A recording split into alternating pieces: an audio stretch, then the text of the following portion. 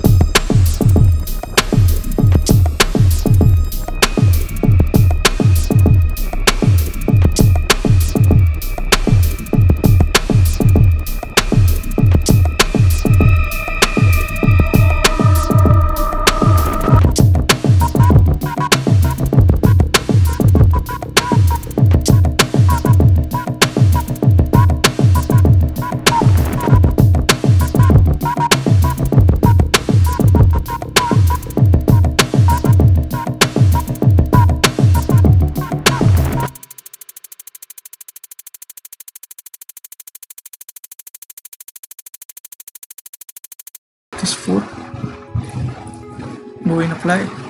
Number of division here apply. 14 40 now go again insert in sizing. Now choose these four lines. Over diamond airfoil so now go in the number of division here apply the 100 now let's see the mesh. We will use the structure mesh. Now check the mesh how it is. It's look good you can see the structure mesh now this- nine are remaining now go again go and insert select the sizing choose these lines apply number of division here how much we apply 200 so here 200 generate mesh for this diamond wedge airfoil we will choose the far field boundary condition so give the name selection click on geometry click edge here and select all outer boundaries. Like this select all. Now right click on it and create name selection and give the name far field okay now go again in uh, again in edge and select the airfoil four edges right click and create name selection. Airfoil wall. Okay we can check from here about application.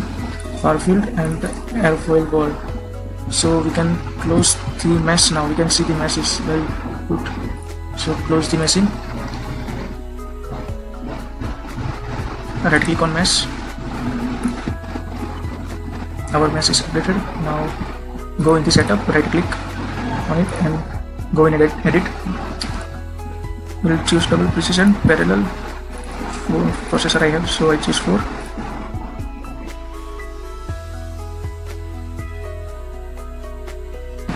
uh, due to supersonic speed the density base we will do in steady state. We can on their gravity also if you want. Minus 9.8 can write go in model?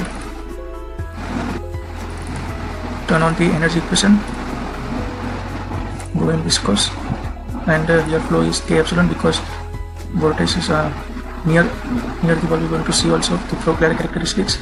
Now go in k epsilon relay 0 and select ok now go in material. It's air. Density is uh, ideal gas.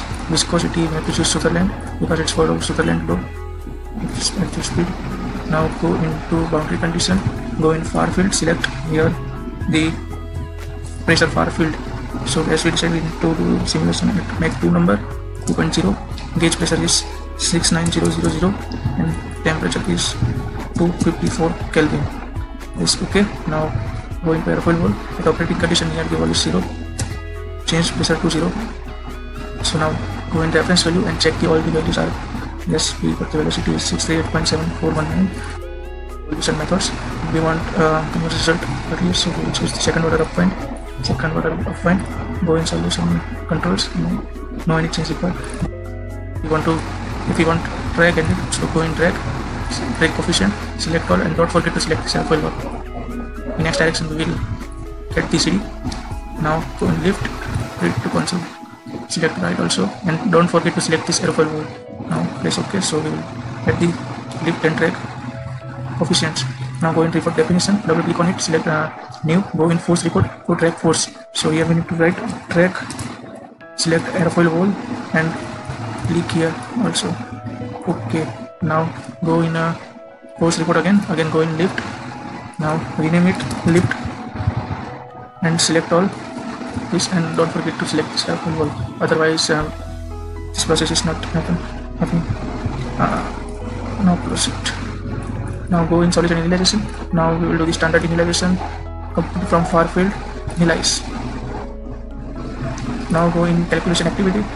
Now go in auto save we want where number so we need to edit here. Uh, each time if we want to save the results at this equation so we can write 200 now go in data file quantities. We can add dynamic pressure Mach number anything dynamic pressure and Mach number. So press ok okay now go into so we can is no recommendation to make it this time okay so we are on the perfect way. So we can apply here for 2000 and see what result. Press calculate. Calculation is starting. We can see here CLCD track lift all the things. At above, above also we see the track lift port plot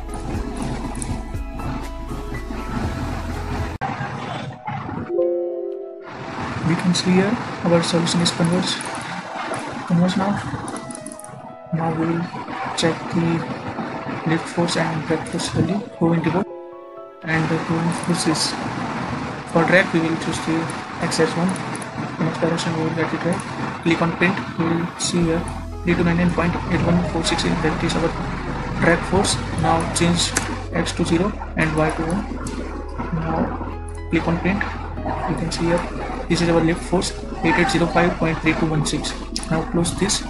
Here we can check the lift coefficient and drag coefficient value values. Just go down and CL this is our CL 4.55 and our CD is 1.78 0.0178 and CD is 0.0455 so now going to result